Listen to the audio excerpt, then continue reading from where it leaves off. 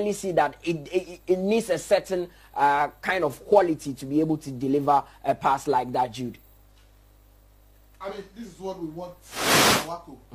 A player of his quality will always come to party. Should be showing glimpses of a genius that he is. Look, nimble-footed. We've seen him, you know, try those passes, you know, in, in the Ghana Premier League, but this was sublime. This was expertly done. With the outside of his foot and the vision to see the speed of Patrick Razak. Yeah. And, and just threading that pass outside, you know, with, with the boots. And that was, that was perfect you need him to do that week in, week out, live up to the billing, show class, Gladson Awako. He's supposed to be the link between midfield and attack. Yeah. He, he is that man who can supply the strikers with ammunition to fire home. But anytime he, he, he, he flattered to deceive. In the first half, if Boadu probably, Boadu had probably seen something, I don't know, but most of the time Boadu will sub him in the second half. But he kept faith in him. He gave him more playing time and he was able to, to assist perfectly with that brilliant pass.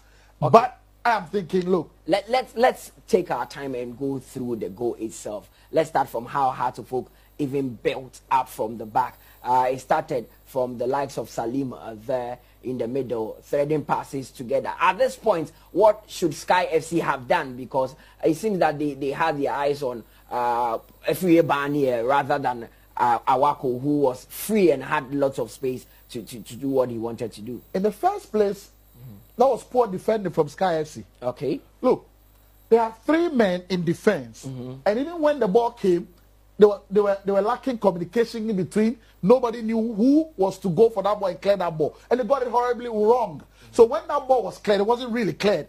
Then it fell to the feet of Isaac Mensah. But here, in the picture that we have here, you see Salim Adams on the ball.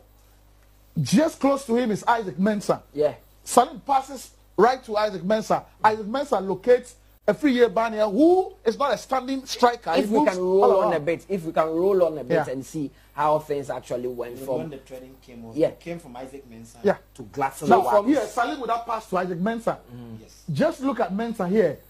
And Awako was in a good position, but look at the movement of a Afriyie Barnieh. Just one-time passing. But mm. Awako here with great vision, surrounded by four, five players. Mm. Great vision, great awareness, and he saw the run of Patrick Razak. And Razak this time around timed his run perfectly Perfectly, well. And then he threaded in that beautiful You know what? pass. I, one thing I noticed about this is that the weight on the pass it was perfect for for for Patrick Razak to run onto. And uh, at the first glance, we thought it was an offside, but we, we got to know that he was played onside by the last central defender of Skyy FC, and uh, that was good vision for Awako. How many players surrounding Awako? There, he has about five players inside, but he was able to thread that pass through, and that is brilliant. I mean, look, at Modric did it recently. Awako can do it as is- well. This is wrong. Yeah. Even with how the defense men of Skyy FC Yeah. are shaping up against Awako. Five players, which means that you are lacking when you have a certain Isaac Mensah on the far right, on the far left, and PR17 on your right. Yeah. Watch it. If Awako should have given it to Isaac Mensah, immediately Isaac Mensah would have been offside. Okay. Because the, the last defender will move a little bit further. Mm-hmm. And with Awako even waiting, Isaac Mensah will be in offside position. Yeah. But look at PR17. His takeoff is even not very, very closer to where the defender is. Yeah. He, he just took off here and then look at the flight of the ball. Excellent onto the footpath. And then he also saw the goalkeeper move and then placed it at, the, at, the, at where the angle he felt was right. Let's go. When we roll, you see, the moment he got the ball, he just had to wait for PR17 to do the move. And then when the movement came in, watch the outside with. I mean, the defender over there is actually sleeping because he was still watching uh, Gladson. I think that was um, uh, Moro uh, for, for, for, for them. Yes, I mean he's sleeping because the moment Awako took the ball, all that he was looking out for, not for Afriyie Barnieh again, because where Afriyie Barnieh is, is very, very closer. So he's looking at the takeoff. Look at Razak. He's about to take off. And then the flight of the ball just came to meet him where he felt he was in a comfortable position to bury the ball. Of course, and and one would think that it was easy for Patrick Razak to score, but that first control did the magic for him, uh, Jude. I mean, the weight on the pass was perfect. He needed great control. Then again, there was a lot of things he. I'm talking about the control Yes, because yes, there are yes, like times said. that Patrick Razak has miscontrolled Yeah, the ball several times. Exactly. Yeah. So that's what I'm saying that even when he controlled here, Yeah.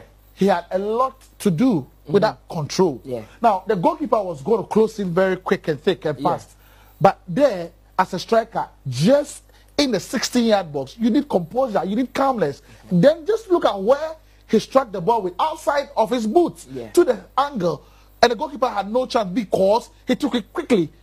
After the control, just one control and then outside the foot, bang, to the top corner. So it, it was more or less like Patrick Razak actually knew what he wanted to do even before the ball came to him because the goalkeeper was rushing. Yeah. And all he needed to do was just poke the Yeah, ball you need to think in, in, in, the in the final zone in that 16 yard box. The moment you have a control, you need Mm-hmm. to think: Am I going to go for a shot? Am I placing it?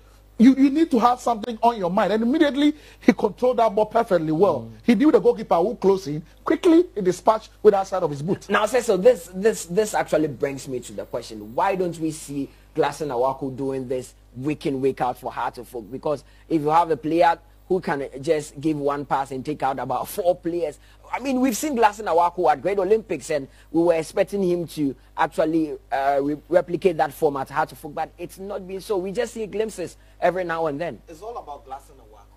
Self-motivator should be Awako. And then he should know what he wants to do when the ball is being given to him. The moment the ball is being flighted, he knows how to play football. That is a midfield gem. The moment he has control, he has control with both left and right. I see Awako to be a setting eh, he's, he's casted in the mode of Santi Cazorla because the moment he takes the ball, he can equally give the pass of the left mm. and likewise the right. Mm. So this is a special player who should always have it behind him that look, we need I need to play to the strength of my team. The moment I get the ball, I should locate the strikers with all these telling passes. And when PR17 came in, you could see Awako change his style. He was he was going for much more shorter passes with precise ones to the strikers to finish it. And that is why when the pass was being traded between Salim and then Isaac Mensah, the moment the ball came to him, he had a, a wind that, yes, Afriyie Barnieh is there. He has made himself very, very big and large. Let me just go for the quick 1v1 pass and see what I can do. This was what I was expecting Kofi Kordzi to be doing. Because you are very, very huge. This is where you go for the ball. Open yourself up for certain players to run through you, use you as